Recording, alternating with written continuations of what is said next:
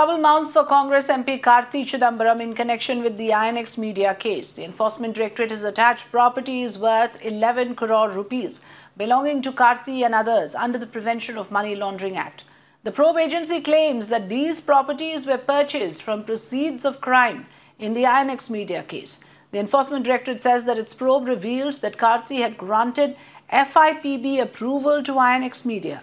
Further, the probe agency claims the proceeds of crime was used to purchase properties abroad through shell companies directly or indirectly controlled by the con Congress MP.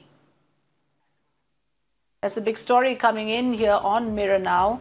In the INX Media scam probe case, properties of Karti Chidambaram have been attached. Let me go across to Bhavtosh joining us with more. Yes, Bhavtosh, over to you for the details on this. Uh, what exactly is the reason uh, the grounds rather for attaching of Karti Chidambaram's properties. Afrida, remember uh, in this case, uh, Karti uh, Chidambaram was arrested uh, in 2018, and then subsequently, uh, the Central Bureau of Investigation also arrested uh, his fa- uh, father, P. Chidambaram, who was then finance minister, and both agencies also filed their own charge sheets in now, Enforcement Directorate has issued a press statement in which they have said that uh, Karti Chidambaram's uh, assets worth at least 11.4 crore rupees, which is in for, uh, form of uh, movable assets and also in form of uh, immovable assets, uh, which is also a property in Coorg.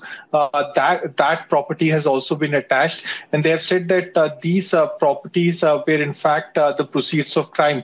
Now, the Enforcement Directorate has said that Chidambaram, when he was uh, the finance minister, he had in fact uh, illegally allowed INX Media to get uh, FIPB clearance. Now, this uh, was done uh, through uh, after uh, INX Media uh, signed a sham contract with a company called Advantage Strategic Private Limited. Now, Advantage Strategic Private Limited was a company which was whose beneficial promoter was Karti Chidambaram, and once this was done, the money in fact was transferred or uh, illegal gratification was paid to Karti Chidambaram. Uh, further, Enforcement Directorate in a press statement has said that the total proceeds of crime in this case is approximately around 65 crore rupees.